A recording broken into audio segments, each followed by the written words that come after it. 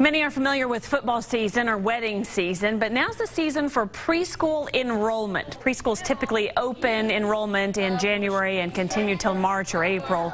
If your child's between the ages of three and five, is potty trained, plays well with other children, and is okay being left without mom or dad, then they're likely ready for preschool. Before choosing a school, parents should stop by, take a tour to get their questions answered. Parents can also help get their child excited about school talk about how really neat it would be for them to go to school and to make friends and to be able to do art projects and have a teacher and be like a big boy or big girl. So we posted a link to a directory of preschools around the Kansas City area on our website, kshb.com. Go to news and then education. Big long